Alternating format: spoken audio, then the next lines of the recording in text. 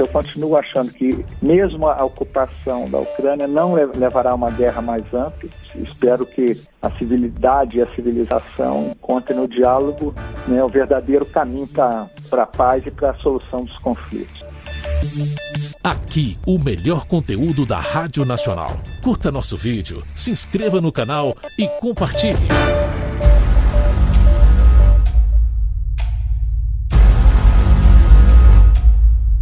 Infelizmente, o mundo está acompanhando atônito este ataque da Rússia contra o território ucraniano.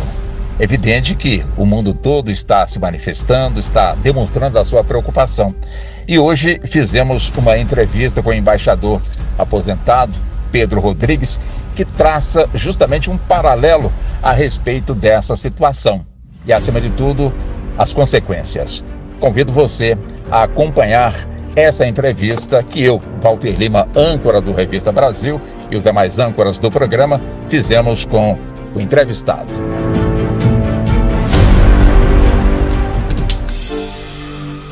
Uma boa notícia nesse cenário, pelo menos, é que temos um embaixador de primeira classe lá na Ucrânia, que é o Norton Rapesta, que é muito competente, já tivemos a oportunidade de trabalhar juntos no passado.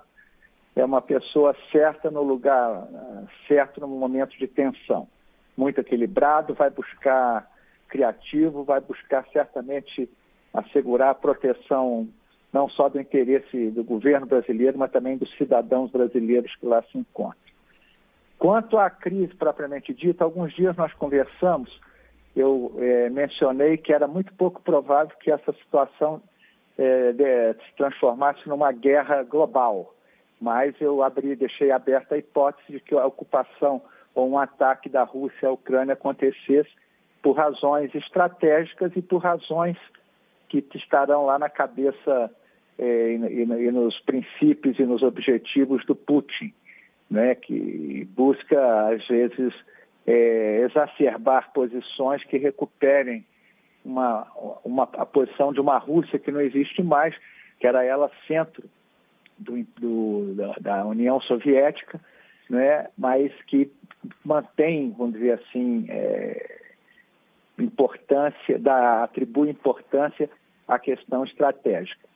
é? E quando se fala de guerra, é sempre importante nessas questões é, é, estratégicas, porque em geral se vai por conta da emoção. Nós temos que ver que os interesses dos países são muito fortes. É, a maior parte dos seus ouvintes é mais jovem, não se lembrará, mas já terá talvez lido, que em 61, quando a União Soviética quis instalar mísseis nas proximidades dos Estados Unidos, a reação dos Estados Unidos foi de, o seguinte: instalou e significa guerra mundial. Agora, o que se, na visão da Rússia agora o que você está tendo é querendo trazer mísseis do Ocidente para a vizinhança da Rússia. Então essa questão estratégica ela foge da lógica das relações entre as pessoas, entre as relações comerciais, ela, ela, ela pega a questão da segurança. Né? E quando você não é parte do sistema de segurança majoritário, você tende, às vezes, a ter reações é, um pouco, é, vamos dizer assim, pouco plausíveis na visão tradicional. Então, essa é a questão que nós temos. Eu continuo achando que mesmo a ocupação da Ucrânia não levará a uma guerra mais ampla, né? É, como não, não, não, não, levou, por exemplo, quer dizer, isso aí a Rússia se é, certamente se inspirou ao ver que, por exemplo, questões que poderiam, né, que a, a famosa linha vermelha foi cruzada e os Estados Unidos não fizeram nada, como por exemplo na questão da Síria. Mas aí vai complicar uma conversa antes de eu ter sequer cumprimentado meu amigo Walter. Tá bom, Walter. Agora, é, é, embaixador, numa situação dessa, o senhor já falou sobre o nosso embaixador, um, ah. bastante experiente, os brasileiros que estão neste país que está sob bombardeio, vamos colocar dessa forma. De que forma a embaixada ajuda esses brasileiros? Ou seja, traz todo mundo para dentro da embaixada, de que forma é, é, é, é o protocolo para poder justamente proteger os nossos nacionais? Bom, quem não saiu antes está agora numa situação de, de, de conflito. não é? E você, ou, ou, se você olhar o mapa das ações militares russas, elas, elas estão espalhadas por diversas regiões, pelo lado da Bielorrússia, pelo Oriente, pelo Sul. Então, é, na medida em que não, não houve ainda, quer dizer, não está havendo um conflito militar de grandes proporções, vamos dizer assim, e sim localizado, o ideal é que as pessoas se, se sentirem seguras, fiquem nas suas casas, mas mantendo contato. O importante é estabelecer contato que a área consular da embaixada saiba onde estão os brasileiros e dê tempo para a sociedade internacional, porque isso não é uma questão só brasileira. Isso aí você tem franceses, húngaros, tchecos, é, bolivianos, tem muita gente de todos os países, não só jogadores de futebol, cientistas, a cooperação científica com a Ucrânia é muito grande. Então, é, isso vai ser buscado uma solução global via ONU. Não podemos nos esquecer que esses instrumentos multilaterais, nesse momento, são mais, é, vamos dizer, eficazes do que essas ações é, bilaterais. Né? Quer dizer, lógico, o Brasil deve fazer tudo para tirar seus nacionais, mas devemos atuar, e devemos, e estamos certamente já atuando junto à ONU, para se montar esquemas é, multilaterais de, de, de proteção dos nacionais de outros países que estejam na área de conflito. Antes de irmos ao Rio com o César Fatioli, tem mais uma questão, eh, embaixador. Quer dizer, o conflito está entre Rússia e Ucrânia, contudo, outros países da Europa, como os Estados Unidos, a China, estão por ali, acompanhando de perto, pressionando diplomaticamente para que a situação seja resolvida. Contudo, hoje as bolsas eh, já amanhecem despencando. Quer dizer, qual o reflexo, enfim, deste, deste confronto na economia mundial e principalmente em relação ao barril de petróleo. É, e essa questão dos mercados, ela é muito sensível, porque ela, é, é, é, ela não é uma coisa concreta que você é, tome medidas a partir de um, um fato específico concreto. É, existe assim, o que, que pode uma invasão da, da, da Ucrânia e as próprias ameaças que a, estão sendo feitas de medidas retaliatórias. É, a gente, quando lembra que a, Rússia é o segundo principal país exportador de petróleo, é, grande exportador de gás, inclusive para a própria Europa, e além da Ucrânia ser grande produtora mundial, né, em escala mundial de trigo, quer dizer, então, é, sem contar outros elementos, o preço do, do alumínio, que aparentemente não teria nada a ver diretamente, também já está batendo recorde temos o petróleo batendo a 100, 100 dólares o barril. Então, é, as consequências podem ser difíceis e, e tem que, quer dizer, né, eu não estou vendo é, é, a capacidade de, de retaliação ser muito eficaz, na verdade, porque você faz essas ameaças, mas obviamente já tem vozes europeias dizendo, olha, a gente deve reagir, mas cuidado que, com a nossa retaguarda, porque nós somos dependentes, nós estamos no inverno ainda. O consumo do petróleo está altíssimo, a inflação está altíssima. Né? O próprio ex-presidente russo, primeiro-ministro Medvedev, é, alertou isso, olha, cuidado, aí que o gás pode chegar a mil. É lógico que não se pode aceitar chantagem é, de nenhuma parte belicosa, mas o, é, também não se pode tomar medidas que vão acabar tirando, afetando o próprio interesse de quem toma essa medida. Então, vamos ver o que vai acontecer. Os mercados estão muito inquietos, é verdade, e vão continuar enquanto você tiver essa situação em, em, em andamento aí. Essa situação que eu digo ocupação da Ucrânia, ou pelo menos a ocupação de certos objetivos na Ucrânia. Embaixador, o nosso âncora na Nacional do Rio de Janeiro, César Fatiali, também tem uma pergunta para o senhor. Vamos lá, César.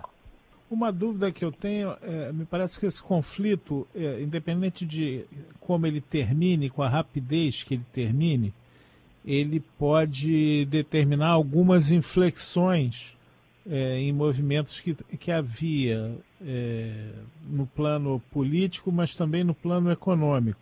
É possível que ele acelere a integração eh, entre a China e a Rússia como um polo oposto aos, aos interesses americanos é, numa ponta, né, pelo dinamismo da economia chinesa, que é uma espécie de locomotiva, mas tem um contraponto que é o seguinte: a Alemanha e Rússia, é, com todos os conflitos que marcam a história recente, é, havia sempre um grande temor do Reino Unido e dos Estados Unidos com uma aproximação é, entre, entre esses dois países, né, ao longo de diferentes regimes.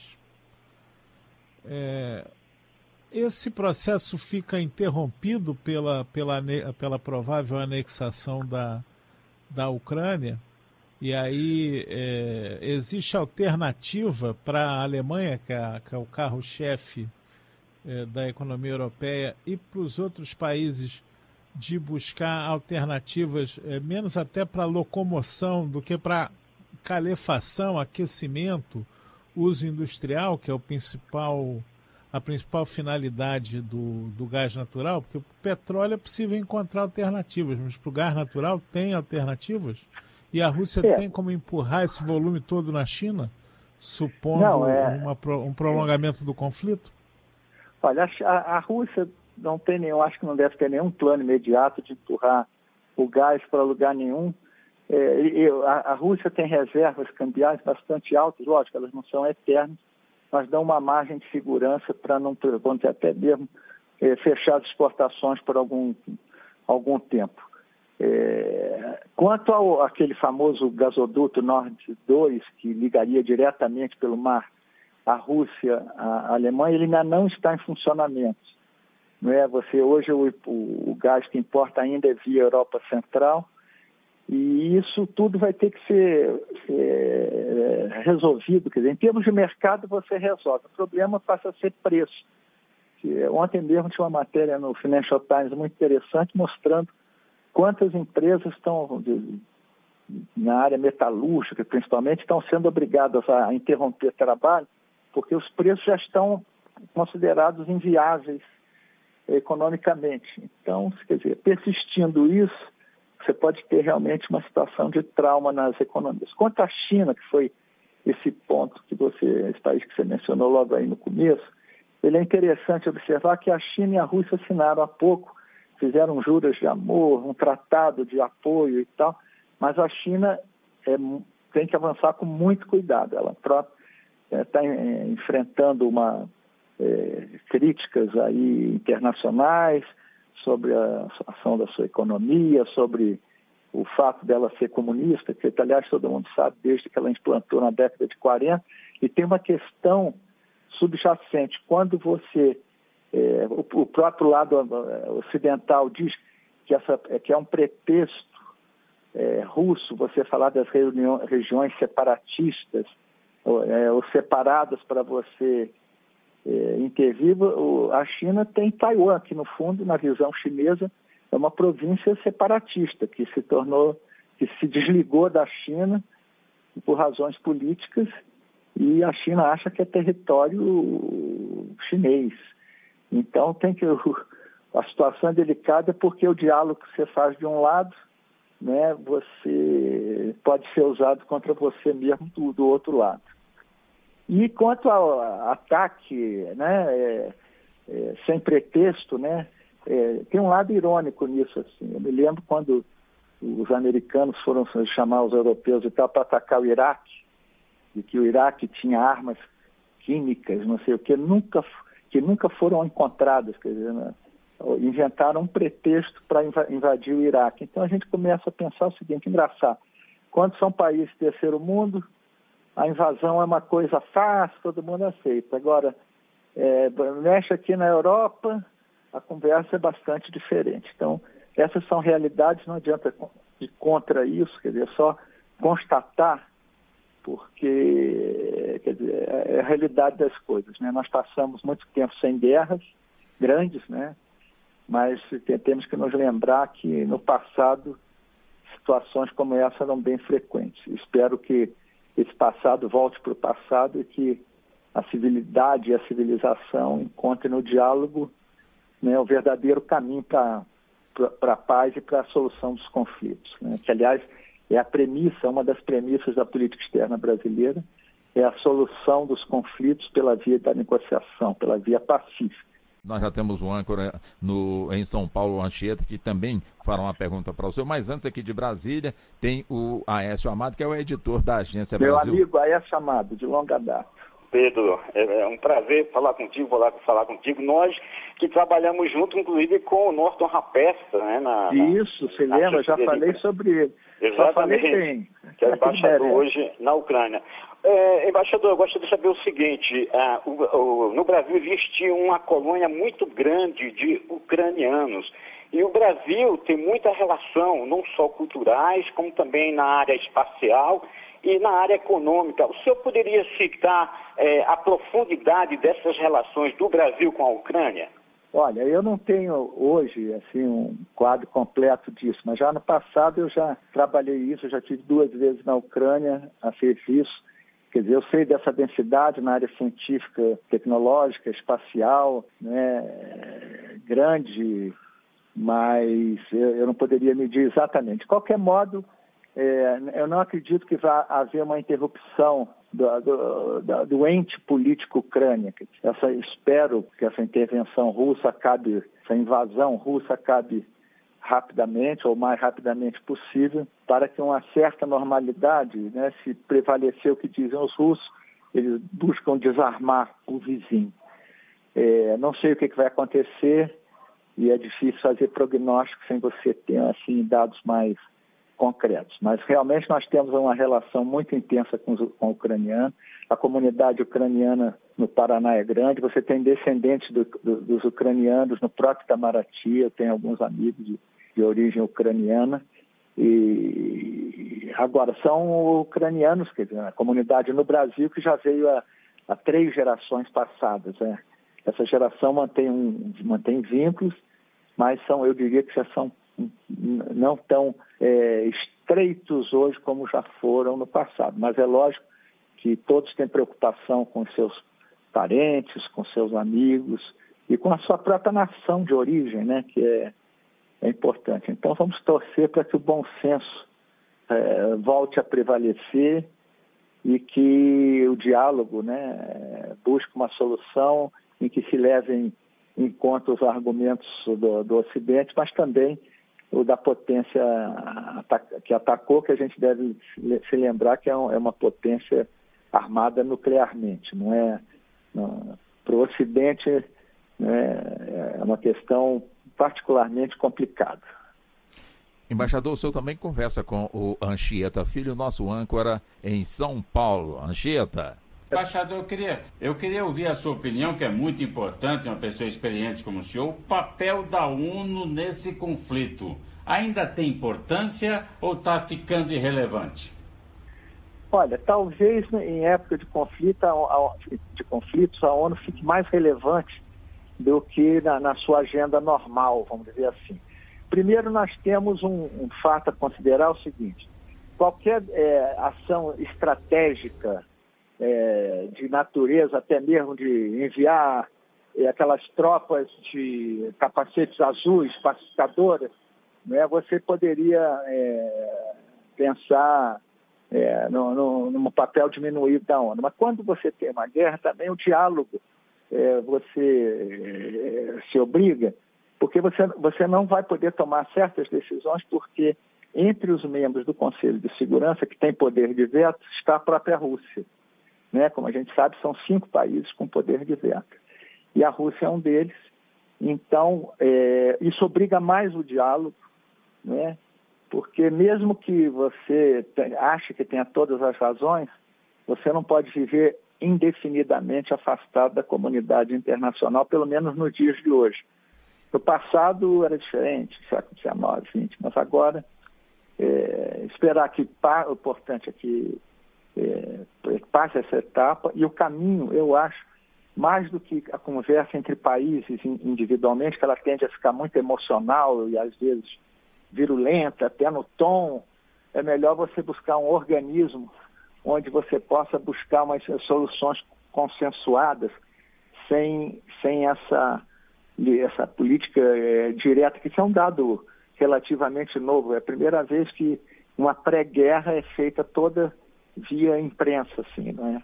vai se divulgando dados até mesmo de, de segurança, é, serviços de segurança e agências especiais, e na verdade você, nesse tipo de diálogo, você exacerba as posições em vez de poder ter um clima, vamos dizer, favorável à negociação. Então acho que a ONU, é, nesse momento, embora ela tenha estruturalmente falhas a serem corrigidas, como aliás a posição brasileira sempre é, defende, é, eu acho que ela pode ser um canal adequado nesse momento. Não, não vejo outro, aliás.